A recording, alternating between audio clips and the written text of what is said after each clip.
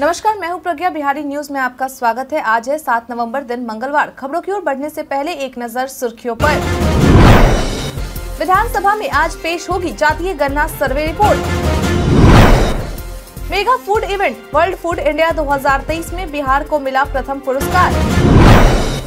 बिहार में तीन दिन में दूसरी बार आया भूकंप, कई जिलों में हिली धरती। डायल 112 सेवा के उपलब्धियों की एडीजी मुख्यालय ने दी जानकारी। बांग्लादेश और श्रीलंका के मैच में बना वर्ल्ड कप का सबसे बड़ा रिकॉर्ड। अब चले बढ़ते हैं बिहार के अब तक की 25 बड़ी खबरों की ओर विस्तार से। इंडियन ओवरसीज बैंक में छियासठ स्पेशलिस्ट ऑफिसर के पदों पर भर्ती। इंडियन ओवरसीज बैंक के द्वारा स्पेशलिस्ट ऑफिसर के छियासठ पदों पर भर्ती निकाली गई है। ऐसे में वो लोग जो इसके लिए आवेदन करना चाहते हैं, वह बैंक की आधिकारिक वेबसाइट इन पर जाकर ऑनलाइन तरीके से आवेदन कर सकते हैं। बता दें कि आवेदन करने की अंतिम तारीख 19 नवंबर 2023 तक निर्धारित की गई है। इसके लिए अगर शैक्षणिक योग्यता की बात करें तो Indian Overseas Bank specialist officer भर्ती के लिए आवेदन हेतु उम्मीदवारों की रिक्तियों से संबंधित विभाग में यूजी पीजी स्तर की प्रोफेशनल डिग्री पदों के अनुसार अलग अलग प्राप्त किया होना चाहिए। साथ ही उम्मीदवारों की आयु 1 नवंबर 2023 को न्यूनतम 27 वर्ष और अधिकतम 35 वर्ष होनी चाहिए। इससे जुड़ी अधिक जानकारी हासिल करने के लिए एक बार जारी किए गए अधिसूचना को ज़रूर देख ले। फेस्टिव सीज़न में ऑनलाइन फ्रॉड से बचे। त्योहारों की शुरुआत हो चुकी है और इसी के साथ साइबर अपराधी भी हरकतों में आ गए हैं। बता दें कि आर्थिक अपराध इकाई के द्वारा आईपीआरडी पर एक पोस्ट शेयर कर यह जानकारी दी गई है कि फेस्टिव सीज़न में ऑनलाइन फ्रॉड से बचे, क्योंकि त्योहारों के मौके पर लुभावनी ऑफर्स, स्कीम सेल का प्रलोभन देने वाले कई ठग गिरोह सक्रिय होते हैं। साइबर जालसाजों द्वारा व्हाट्सएप, एसएमएस, मेल पर संदिग्ध लिंक भेजे जाते हैं। साइबर ठग बड़ी कंपनियों की मिलती जुलती फर्जी वेबसाइट बनाकर लोगों को फ्रॉड का शिकार बनाते हैं। ऑनलाइन खरीदारी करते समय अपने क्रेडिट और डेबिट कार्ड को गोपनीय जानकारी को सेव न करें। व्हाट्सएप एसएमएस मेल पर प्राप्त लिंक खोलने से पहले आधिकारिक लिंक स्कैनर का इस्तेमाल करें। H T T P S colon slash slash domain extension के साथ खुलने वाली वेबसाइट सुरक्षित होती है। ऑफ़र से संबंधित जानकारी कंपनी के आधिकारिक सोशल मीडिया या वेबसाइट पर ज़रूर चेक करें। किसी भी कंपनी की ऐप डाउनलोड करने से पहले उसकी सत्यता की जाँच कर ले, बता दें कि फेक ऐप के ज़रिए साइबर ठग लोगों को अपना शिकार बनाते हैं। ऐसे में साइबर अपराध से संबंधित किसी भी शिकायत के लिए हेल्पलाइन नंबर एक नौ तीन शून्य पर संपर्क करें या H T T P S colon slash slash cyber crime dot G O V dot in slash पर विज़िट कर साइबर अपराध से संबंधित शिकायत दर्ज करा सकते हैं। बिहारी बर्थडे स्पेशल में आज हम बात करेंगे इंदु सोनाली के बारे में। इंदु सोनाली का जन्म आज ही के दिन 1980 में हुआ था। ये एक भारतीय फ़िल्म पार्श्व गायिका है, जिन्हें भोजपुरी के आइटम गीतों में गाने के लिए जाना जाता है। उन्होंने 300 भोजपुरी फ़िल्मों और 50 संगीत वीडियो एल्बमों के लिए गाना गाया है। माना जाता है कि फ़िल्म उद्योग के शीर्ष पार्श्व गायकों के रूप में इंदु सोनाली को जाना जाता है। उनकी संगीत शैली भारतीय शास्त्रीय संगीत जैसी होती है। उन्होंने भोजपुरी फ़िल्म पंडित जी बताई न, बियाह कब हुई में पार्श्व गायिका के रूप में अपनी शुरुआत की, जिसके लिए राजेश गुप्ता संगीत निर्देशक थे। वह भारतीय गायन की लता मंगेशकर की एक बहुत बड़ी प्रशंसक है। सोनाली इलेक्ट्रॉनिक और नए युग के जज फ्यूजन उन्मुख संगीत समारोह में एक कलाकार है। 2016 में सोनाली ने संगीत निर्देशक दामोदर राव के साथ एकल भक्ति एल्बम स्वरांजलि रिकॉर्ड की, जो संगीत कंपनी साई रिकॉर्ड्स के तहत रिलीज़ हुई थी। उन्हें गायन के कारण कई भाषाओं का ज्ञान प्राप्त हुआ, जिसके चलते उन्होंने हिंदी, भोजपुरी, बांग्ला इत्यादि भाषाओं में गायन किया। उन्होंने 500 से अधिक भोजपुरी गीतों को गाया है। Mega food event world food India 2023 में बिहार को मिला प्रथम पुरस्कार। तीन नवंबर से पाँच नवंबर तक दिल्ली के प्रगति मैदान में आयोजित तीन दिवसीय mega food event world food India 2023 के समापन समारोह में राज्यों की श्रेणी में उत्कृष्ट प्रदर्शन करने के लिए बिहार को प्रथम पुरस्कार दिया गया है। बता दें इस बात की जानकारी आईपीआरडी पर पोस्ट शेयर कर दी गई है, जिसमें बताया गया है की वर्ल्ड फ़ूड इंडिया 2023 के समापन समारोह की मुख्य अतिथि महामहिम राष्ट्रपति द्रौपदी मुर्मू के द्वारा बिहार को यह सम्मान दिया गया है। वही इस पुरस्कार को बिहार सरकार की ओर से उद्योग विभाग के अपर मुख्य सचिव संदीप संदीप पौंड्रिक एवं उद्योग विभाग के खाद्य प्रसंस्करण निदेशक विवेक रंजन मैत्रेयी के द्वारा ग्रहण किया गया है। वहीं इस पुरस्कार को लेकर उद्योग विभाग के अपर मुख्य सचिव संदीप पौंड्रिक के द्वारा लिखा गया है कि भारत मंडपम नई दिल्ली में बिहार सरकार की ओर से भारत के माननीय राष्ट्रपति से पीएमएफएमई में प्रदर्शन के लिए उत्कृष्ट प्रदर्शन पुरस्कार प्राप्त करना सौभाग्य की बात थी। राज्य में होगा सुरक्षित गर्भपात के लिए लागू युक्ति योजना का विस्तार।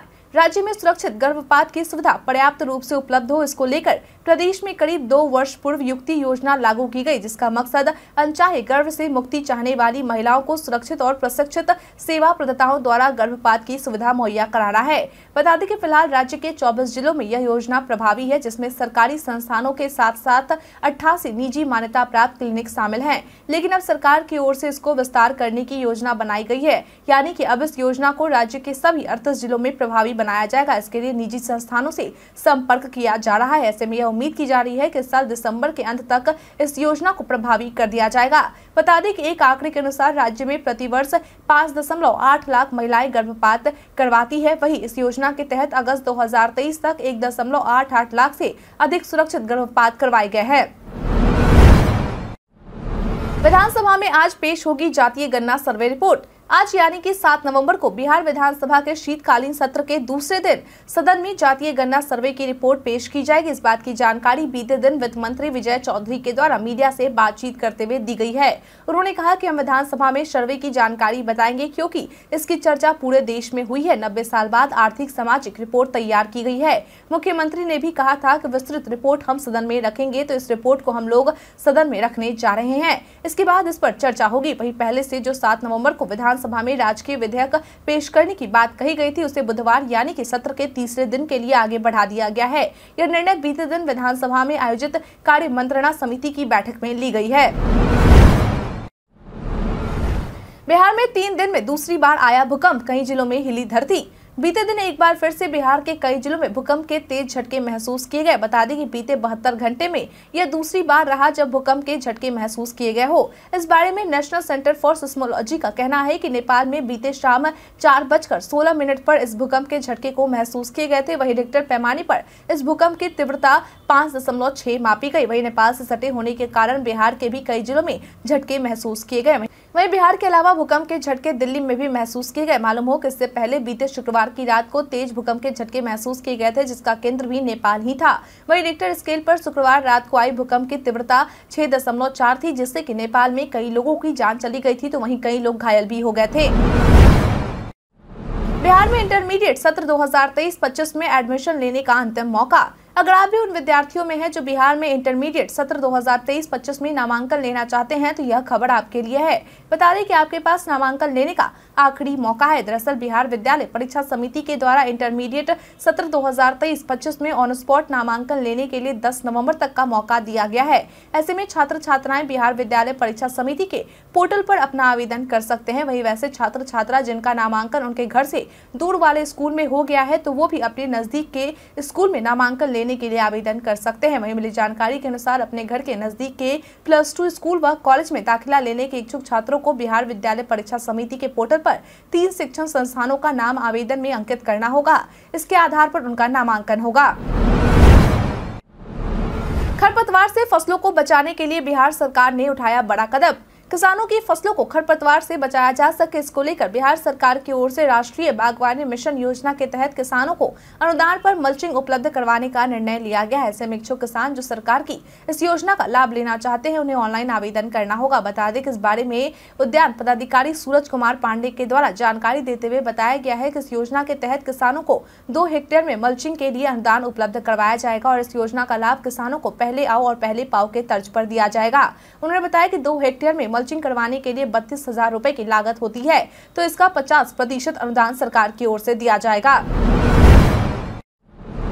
सूबे के पैंसठ प्रतिशत स्कूल सुरक्षित शनिवार से दूर। सूबे के हर स्कूल को सुरक्षित शनिवार का आयोजन करना है, लेकिन अभी भी राज्य में पैंसठ प्रतिशत स्कूल ऐसे हैं जिनके द्वारा सुरक्षित शनिवार का आयोजन नहीं करवाया जा रहा और न ही इन स्कूलों में अब तक आपदा प्रबंधन समिति का गठन किया गया है और न ही सुरक्षित शनिवार का डेटा ई शिक्षा कोर्स पर अपलोड किया जा रहा। ऐसे में अब इस स्थिति को देखते हुए शिक्षा विभाग के द्वारा राज्य के सभी जिलों के शिक्षा पदाधिकारी को एक पत्र लिखा गया है और साथ ही स्कूलों से स्पष्टीकरण भी मांगा गया है। इसके अलावा विभाग की ओर से स्कूलों को दो दिनों के अंदर फोकस शिक्षक और बाल पीड़क का भी चयन करने का निर्देश दिया गया है। आपकी जानकारी के लिए बता दें कि सुरक्षित शनिवार को लेकर एस की ओर से एक कैलेंडर भी जारी किया गया है, जिसमें इस बात की जानकारी दी गई है कि साल भर में संतानवे तरह की आपदा संबंधित गतिविधियाँ करवाई जाए ताकि छात्रों के अंदर आपदा को लेकर जागरूकता आए। बिहार पर्यटन में आज हम बात करेंगे शेरगढ़ किला के बारे में। शेरगढ़ किला, सासाराम के चिनारी ब्लॉक के मल्हीपुर में एक खंडर किला है। यह कुदरा और साथ ही सासाराम बिहार से अच्छी तरह से जुड़ा हुआ है। यह कैमूर पठार पर लगभग 800 फीट ऊँचा एक पहाड़ी किला है और इसे सम्राट शेरशाह सूरी ने बनवाया था। किला घने जंगल में है, जिससे पठार के नीचे से पहुँच मुश्किल हो जाती है। यह किला दुर्गावती नदी के तट पर स्थित है। इस किले का निर्माण 1540 से 1545 के बीच सम्राट शेरशाह सूरी ने करवाया था। सोलहवीं शताब्दी में इस किले को भुड़कुड़ा किला के नाम से भी जाना जाता था। यह भी दावा किया जाता है कि किला खड़वाड़ शासकों द्वारा बनाया गया था और बाद में 1530 में शेरशाह सूरी ने उस पर कब्जा कर लिया था। किले के मुख्य प्रवेश द्वार पर मूल रूप से आठ छोटे गुंबद थे, लेकिन अब केवल पाँच है। मुख्य प्रवेश द्वार से एक किलोमीटर दूर एक झील है, जिसे रानी पोखरा, रानी का तालाब कहा जाता है और बगल की पहाड़ी पर एक भूमिगत किला है। उत्तर में घाटिया, पहाड़ियाँ, हरियाली और दुर्गावती जलाशय परियोजना का सुरमय दृश्य दिखाई पड़ता है। यह घाटी की अनुपम छटा है। इन 10 सवालों के जवाब लेकर आएगी मिर्जापुर तीन मिर्जापुर एक ऐसी वेब सीरीज़ है जिसका लोग बड़े ही बेसब्री से इंतज़ार कर रहे हैं। अब तक मिर्जापुर के दो भाग आ चुके हैं, वहीं तीसरा भाग जल्द ही आने वाला है। इसको लेकर बिहार के लाल और बॉलीवुड अभिनेता पंकज त्रिपाठी के द्वारा दी गई जानकारी के अनुसार इसकी शूटिंग पूरी हो चुकी है और अब जल्द ही स्ट्रीमिंग की डेट भी सामने आ जाएगी। बता दें कि मिर्जापुर तीन में दस सवालों का जवाब लेकर आने वाला है, जिसका जवाब सभी दर्शक जानना चाहते हैं। इन दस सवालों में सबसे पहला सवाल ये है की गोली लगने से कालिन भैया की मौत हो जाती है या वो ज़िंदा रह जाते हैं? वही दूसरा सवाल ये है की जौनपुर वाले शरद शुक्ला किस मकसद से कालीन भैया को बचाकर भागा था। तीसरा सवाल, गुड्डू भैया और गोलू के बीच रिश्ता किस मोड़ तक जाएगा? चौथा सवाल, बाबूजी की हत्या के राज से क्या पर्दा उठेगा? पांचवा सवाल, मुन्ना भैया की पत्नी जो मुख्यमंत्री बन गई है, उनका रुख क्या होने वाला है? छठा सवाल, क्या मकबूल को लेकर कालीन भैया की राय बदलेगी? सातवां सवाल, क्या जौनपुर से मिर्जापुर चलाएँगे? कालिन भैया तो गुड्डू भैया का क्या होगा? आठवां सवाल, गुड्डू भैया की बहन का क्या होगा जो हॉस्टल में पढ़ रही है? नौवा सवाल, पूर्व मुख्यमंत्री के भाई का क्या रोल रहने वाला है? और दस दसवां और अंतिम सवाल क्या तीसरे सीज़न में दद्दा त्यागी का रोल अहम होगा? डायल 112 सेवा की उपलब्धियों की एडीजी मुख्यालय ने दी जानकारी। बीते दिन एडीजी जेएस गंगवार के द्वारा आपातकालीन प्रतिक्रिया सहायता प्रणाली के तहत डायल 112 को लेकर जानकारी देते हुए बताया गया कि 6 जुलाई 2022 को मुख्यमंत्री नीतीश कुमार के द्वारा इसे हरी झंडी दिखाने के बाद से अब तक इसकी मदद से कुल चार लाख पचास हज़ार शिकायतें सुनी गई हैं। वहीं एक महीने में कॉल दर्ज होने की संख्या छब्बीस है, जिसमें से आठ सौ बयालीस पर मामला दर्ज किया गया है एडीजी के द्वारा जानकारी देते हुए बताया गया की पहले की अपेक्षा जुलाई दो हज़ार तेईस में औसत रिस्पॉन्ड टाइम घटकर इक्कीस मिनट अड़तालीस सेकेंड हो गया है, जबकि दर्ज कॉल की संख्या बढ़कर तीन हो गई है। उन्होंने कहा कि कॉल रिस्पॉन्ड की संख्या में इसलिए बढ़ोतरी हुई है क्योंकि इस पर लगातार मॉनिटरिंग और कार्रवाई की जा रही। इस पर आने वाले कॉल से लोगों को ई e के माध्यम से पीड़ितों को मदद उपलब्ध करवाई जाती है। इसकी निगरानी बिहार पुलिस मुख्यालय द्वारा रखी जाती है और यह नंबर चौबीस घंटे कार्य करता है। 10 दिसंबर को पटना आ रहे अरिजीत सिंह, चार घंटे तक चलेगा कॉन्सर्ट। आगामी 10 दिसंबर को बॉलीवुड के मशहूर सिंगर अरिजीत सिंह बिहार की राजधानी पटना के गांधी मैदान में अपना कॉन्सर्ट करने वाले हैं, जो कि चार घंटे तक चलने वाला है। अगर हम कॉन्सर्ट की टाइमिंग की बात करें तो इसकी शुरुआत शाम छह बजे से होगी, जो कि रात दस बजे तक चलेगी। वहीं लोगों के एंट्री के लिए गेट दोपहर दो दो बजे से खोल दिए जाएँगे। वहीं सबके अलावा इस दौरान सुरक्षा को ध्यान में रखते हुए 300 से ज़्यादा गार्ड और 150 से ऊपर बाउंसर्स की तैनाती की जाएगी। ऐसा अनुमान लगाया जा रहा है की इस कॉन्सर्ट में दस हज़ार तक दर्शक शामिल हो सकते हैं। ऐसे में दर्शकों के लिए फ़ूड जोन और बैरिकेडिंग की भी व्यवस्था की जाएगी। ऐसे में अगर आप भी अरिजीत सिंह के इस कॉन्सर्ट का मज़ा लेना चाहते हैं तो इसके लिए आपको इनसाइडर डॉट इन पर जाकर अपना टिकट बुक करना होगा। दिवाली से पहले राज्य के कई जिलों में तापमान गिरा। दिवाली से पहले राज्य में तापमान में गिरावट आनी शुरू हो गई है। मौसम विज्ञान केंद्र पटना के पूर्वानुमान के अनुसार आने वाले दिनों में तापमान में और गिरावट दर्ज की जाएगी। सुबह और शाम कोहरा छाए रहने की संभावना है। साथ ही तापमान में भी दो से तीन डिग्री के करीब गिरावट दर्ज की जाएगी। मौसम विज्ञान केंद्र पटना के वरिष्ठ वैज्ञानिक आशीष कुमार ने बताया कि अगले पाँच दिनों के दौरान राज्य के उत्तर, पश्चिम और दक्षिण पश्चिम भागों के जिलों के न्यूनतम तापमान में दो से तीन डिग्री की गिरावट दर्ज की जाएगी। साथ ही कोहरा और धुंध छाए रहने की प्रबल संभावना है। मौसम वैज्ञानिक के अनुसार राज्य में पछुआ और उत्तर पछुआ हवा का प्रवाह सतह से पाँच दशमलव आठ किलोमीटर ऊपर बना हुआ है। इसी वजह से राज्य का मौसम आमतौर पर शुष्क बना रहेगा, लेकिन सुबह के समय राज्य के अधिकांश भागों में धुंध छाए रहने का पूर्वानुमान है। साथ ही हिमालय के तलहटी और राज्य के पश्चिमी जिलों में सुबह के समय हल्की स्तर का कुहासा छाये रहने का संभावना है। कुत्ते के काटने पर अब पाँच नहीं, इतने इंजेक्शन लगेंगे। बिहार में स्वास्थ्य विभाग के द्वारा एंटी रेबीज नीति में बदलाव कर एक नई गाइडलाइन जारी की गई है, जिसके तहत पहले जहाँ कुत्ते के काटने पर सरकारी अस्पतालों में पाँच सुई लगते थे, वहीं अब केवल तीन सुई लगेंगे, जो कि कुत्ते के काटने के पहले दिन, चौदहवें दिन और अट्ठाईसवें दिन पर दी जाएगी। बता दें कि सुई का डोज पाँच से तीन होने पर भी बीमारी के इलाज पर कोई फ़र्क नहीं पड़ेगा। हालाँकि मरीज़ के जख्म के अनुसार डॉक्टर के द्वारा तीन सुई से पाँच सुई किया जा सकता है। मालूम हो कि कुत्ते के काटने पर एंटी रेबीज टीका लगवाना एकमात्र उपाय है। आपकी जानकारी के लिए बता दें कि रेबीज रेबीज एक वायरस संक्रमण है जो मुख्य रूप से संक्रमित जानवर के काटने से फैलता है। ऐसे में अगर इसका सही समय पर इलाज नहीं किया जाता है तो यह हमारे सेंट्रल नर्वस सिस्टम के अंदर पहुँच जाता है और उसे प्रभावित करता है और फिर मस्तिष्क में तीव्र सूजन पैदा करता है, जिससे इंसान जल्द ही कोमा में चले जाते हैं और उनकी मौत हो जाती है। नवंबर माह में मत्स्य पालकों द्वारा ध्यान देने योग्य महत्वपूर्ण बातें। बिहार सरकार के पशु एवं मत्स्य संसाधन विभाग के द्वारा आईपीआरडी पर एक पोस्ट शेयर कर यह जानकारी दी गई है कि नवंबर महीने में मत्स्य पालकों को किन बातों पर विशेष ध्यान देना चाहिए, जिसके तहत सबसे पहले तालाब में मछलियों के लिए पूरक आहार का प्रयोग कुल मछलियों के शरीर के भार के एक दशमलव आठ से दो प्रतिशत से ज़्यादा न करे। तालाब के पानी की गुणवत्ता बनाए रखने के लिए चार सौ ऐसी पाँच सौ ग्राम प्रति एकड़ की दर ऐसी जलीय प्रोबायोटिक्स का प्रयोग करे। तालाब की मिट्टी की गुणवत्ता बनाए रखने के लिए चार सौ ऐसी पाँच सौ ग्राम प्रति एकड़ की दर ऐसी मृदा प्रोबायोटिक्स अथवा 10 से 15 किलोग्राम प्रति एकड़ की दर से जियो लाइट का प्रयोग नमी युक्त बालू या मिट्टी में मिलाकर करें। तालाब में जलीय खरपतवार होने पर रासायनिक उर्वरक यथा सिंगर सुपर फास्फेट का प्रयोग न करें। पंगेसियस मछलियों वाली तालाब से तैयार मछलियों को निकालने का कार्य पंद्रह नवंबर तक अवश्य कर ले, क्योंकि तापमान के गिरने से इनकी मरने की संभावनाएँ बढ़ जाती है।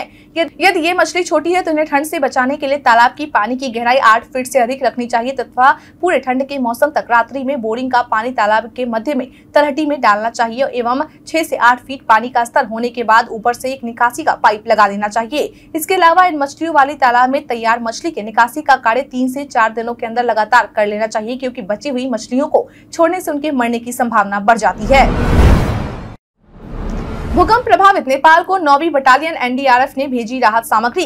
बीते दिनों नेपाल में आए भूकंप से वहाँ कई लोगों की जान चली गई तो वहीं कई लोग घायल भी हो गए। इसके साथ ही इस भूकंप में जान माल का भी काफ़ी नुकसान हुआ है।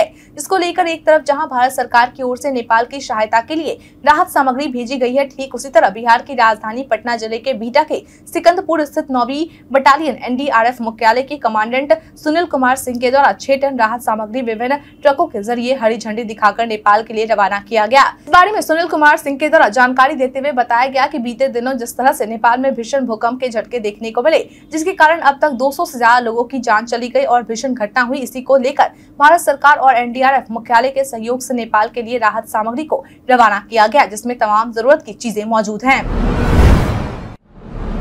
अपने ऊपर कांग्रेस और बीजेपी का एजेंट बनाए जाने पर पीके ने सीएम पर कसा तंज। बीते दिन राजनीतिक रणधिकार प्रशांत किशोर के द्वारा अपने ऊपर कांग्रेस और बीजेपी का एजेंट बताए जाने पर बिहार के मुख्यमंत्री नीतीश कुमार पर तंज कसा गया। उन्होंने कहा कि अपने कई नीतीश कुमार के बयानों को सुना होगा कि वो बोलना कुछ और चाहते हैं और बोल कुछ और जाते हैं। ये उनकी उम्र का असर है।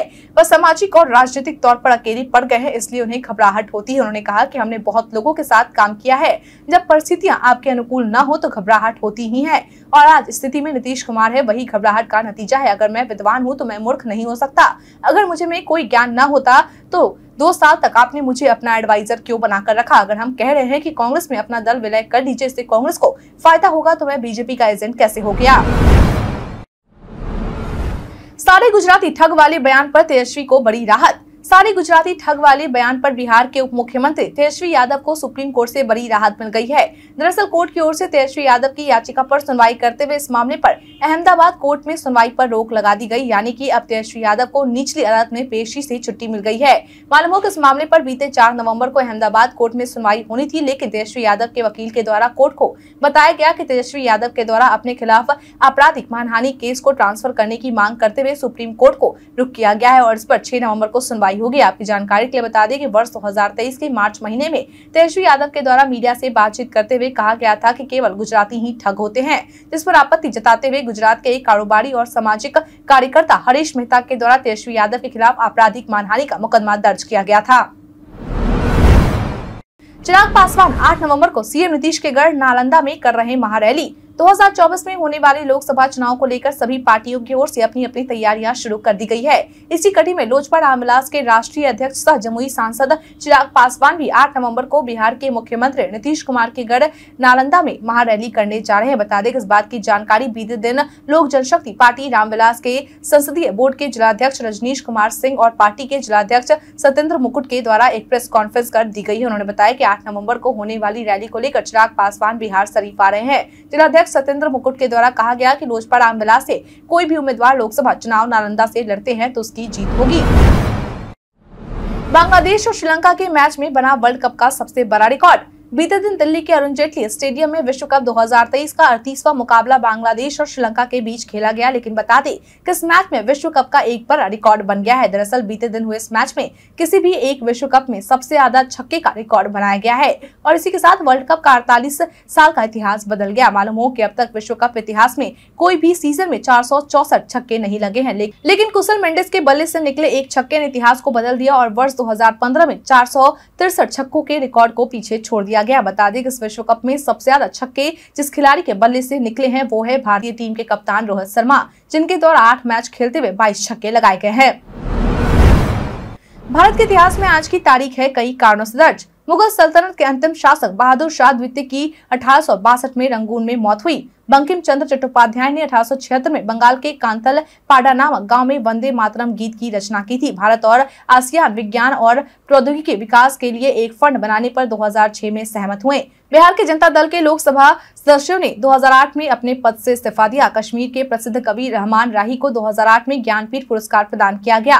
प्रसिद्ध राजनीतिज्ञ, कार्यकर्ता पंडित विश्वम्भर नाथ का जन्म अठारह सौ बत्तीस में हुआ। अंग्रेज़ों के खिलाफ लड़ने वाले महान क्रांतिकारी विपिन चंद्र पाल का जन्म अठारह को हुआ था। वैज्ञानिक चंद्रशेखर वेंकट रामन का जन्म अठारह सौ अठासी को हुआ था। प्रमुख कृषक, नेता तथा सांसद एन जी रंगा का जन्म उन्नीस सौ को हुआ था।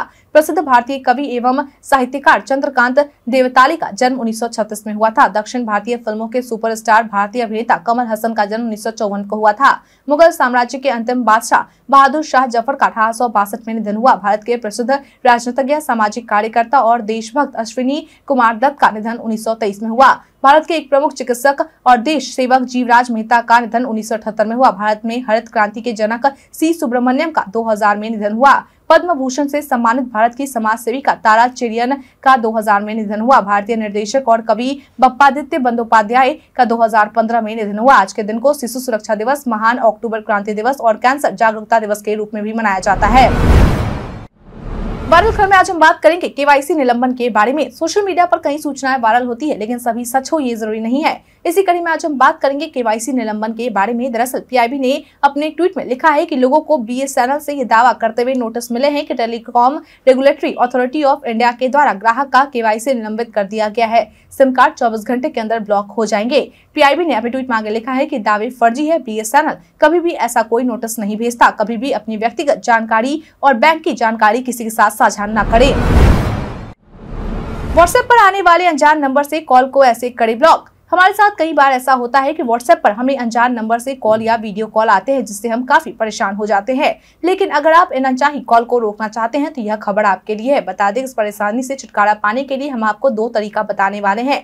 इसके लिए आपको कुछ स्टेप्स फॉलो करने होंगे सबसे पहले तरीके के अंतर्गत आप अपने व्हाट्सएप अकाउंट को ओपन करें और अनजान चैट पर क्लिक करें। राइट साइड में टैप करने पर तीन डॉट के निशान दिखाई देंगे। यहाँ आपको ब्लॉक के ऑप्शन पर टैप करना होगा। इसके बाद ब्लॉक कन्फर्म का ऑप्शन आएगा, जिस पर आपको क्लिक करना होगा। वही दूसरा तरीका यह है की आपको सबसे पहले व्हाट्सएप की सेटिंग प्राइवेसी ब्लॉक कॉन्टेक्ट पर क्लिक करना होगा। इसके बाद आप एड पर टैप करें। ये प्रोसेस पूरा करने के बाद सर्च अनवांटेड नंबर को सिलेक्ट करके टैप करें। अब ब्लॉक कन्फर्म पर टैप करें।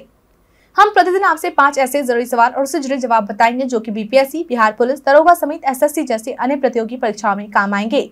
सवाल इतिहास, बिहार स्पेशल विज्ञान करंट अफेयर्स और भूगोल से रहेंगे। पूछे गए पाँच सवाल में आपने कितना सही उत्तर दिया? कृपा करके ये हमें कॉमेंट करके ज़रूर बताए। हमारा पहला सवाल है, हाल ही में प्रधानमंत्री नरेंद्र मोदी ने कहा वर्ल्ड फ़ूड इंडिया प्रदर्शनी का उद्घाटन किया है। Option A, Patna, option B, Bengaluru, option C, New Delhi, option D Kochi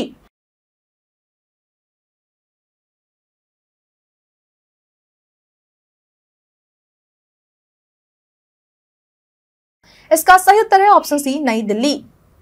अगला सवाल, हाल ही में केंद्रीय वित्त मंत्री निर्मला सीतारमन ने किस देश के त्रिकोमाली में स्टेट बैंक ऑफ़ इंडिया की शाखा का उद्घाटन किया है? Option A, Sri Lanka, option B, चीन, option C, Nepal, option D, Bhutan.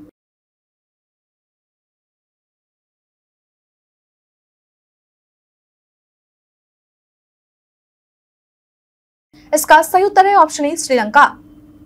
अगला सवाल हाल ही में ईईएसएल ने कहा राष्ट्रीय कुशल पाक कला कार्यक्रम शुरू किया है। Option A Jaipur. Option B Bengaluru. Option C New Delhi. Option D Mumbai.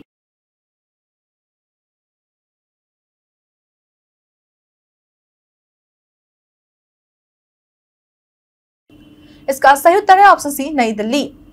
अगला सवाल 2011 की जनगणना के अनुसार बिहार में शहरी जनसंख्या का क्या प्रतिशत है? ऑप्शन ए आठ दशमलव नौ प्रतिशत। ऑप्शन बी दस दशमलव चार सात प्रतिशत। ऑप्शन सी ग्यारह दशमलव शून्य छह प्रतिशत। ऑप्शन डी चौदह दशमलव चार दो प्रतिशत।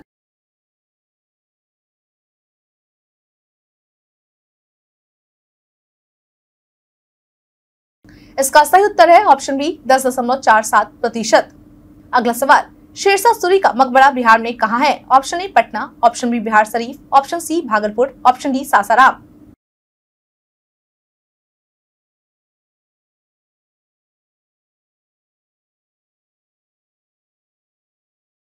इसका सही उत्तर है ऑप्शन डी सासाराम। बीते दिन हमारे द्वारा पूछे गए सवाल का आप लोगों में से बहुत लोगों ने अपना जवाब हमें हमारी कमेंट सेक्शन बॉक्स में लिख कर दिया था, जिन्होंने हमारे द्वारा पूछे गए सवाल का जवाब दिया है। उनके नाम है रंजीत मिश्रा, चंद्रदीप बबलू कुमार गोनर शर्मा, अतीक खान, अनवर करीम खान, पंकज कुमार दास, डॉली कुमारी, विकास दास, विद्या सागर, सुमित शर्मा, गुड्डू कुमार यादव, प्रहलाद कुमार, बाबूलाल मरांडी, मोहम्मद सकीर हुसैन, मोहम्मद असलम। इसके साथ ही बढ़ते आज के सवाल की और आज का सवाल है। आपके क्षेत्र में ठंड महसूस होना शुरू हुआ है या नहीं?